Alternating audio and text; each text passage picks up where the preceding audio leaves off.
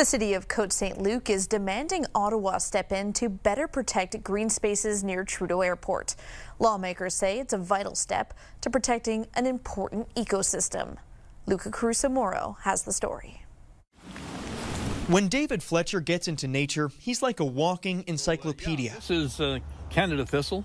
It's a small thistle. And this green space near Trudeau Airport is rich in many kinds of plants and animals. And if it's left alone, or better yet, if it's helped along, uh, this will become even better. It's a site with enormous potential. He's not the only one that feels that way. All in favor?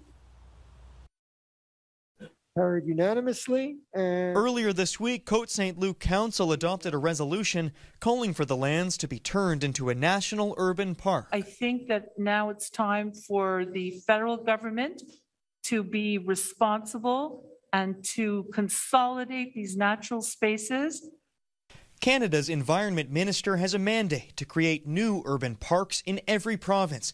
The land's leaser, Aéroport de Montréal, or ADM, came under fire earlier this month for mowing a large swath of land.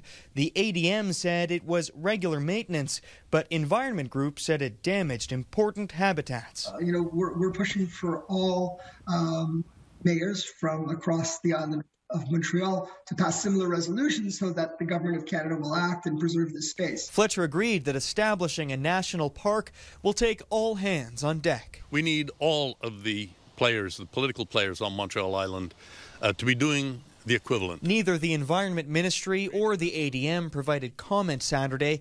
If the ADM does decide to develop the land, it recently told CTV, it will be done with a quote, vision of sustainability. Advocates here say industrial development isn't worth the potential damage.